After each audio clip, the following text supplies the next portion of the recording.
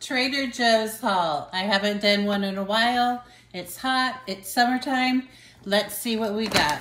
This is what I went for. It's delicious. I tried this yesterday and I could eat this every day of summer. It is broccoli slaw and kale salad with white chicken. It's a meal ready to go.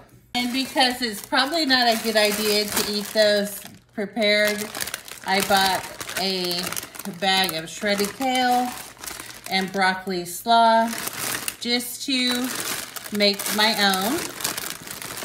Their avocado ranch salad kit, non-fat, plain European style yogurt. I love their yogurt.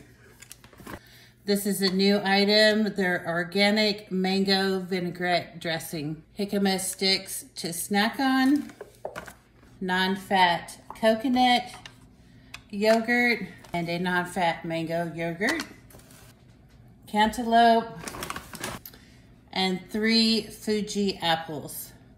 Now I know everybody is on Honeycrisp apples, but these Fuji are just a little bit sweeter to me. They're nice and crunchy. I really prefer them over the Honeycrisp. If you're not liking to cook in the summer heat, just hit that salad aisle.